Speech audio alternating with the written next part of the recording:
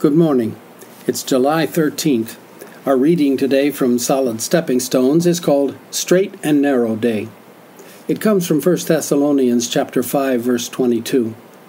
Refrain from every type of evil.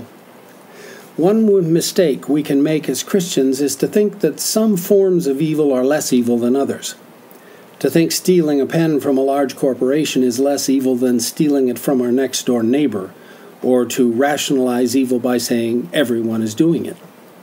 This word for evil literally means causing pain or torment. We are to hold ourselves back from anything that causes unnecessary pain to someone else.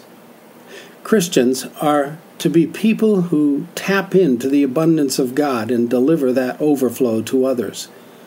We don't cause pain, we alleviate it. We don't torment others, we bless them. We don't decrease others, we increase them. Anything we do then that causes others trouble or pain is one of the kinds of evil this passage talks about. Our goal is not to just look good and or participate in practices we can justify. Our goal is to really distance ourselves from hurting other people. Today is straight and narrow day. We are called to be people who reflect the righteousness of Christ in our earthly lives. That seems like an impossible task if we try to analyze every thought and action in terms of laws we might break.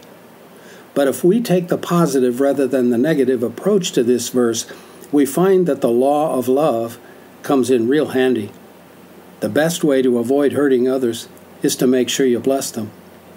Instead of going through this day focusing on avoiding hurting people, focus on building them up and minimizing their pain.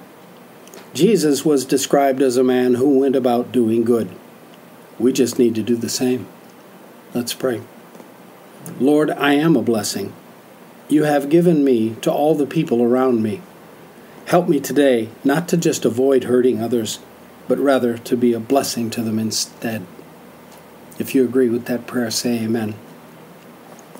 Your readings today are from 2 Chronicles chapters 20 and 21 and Mark chapter 14. God bless you, and I'll see you tomorrow.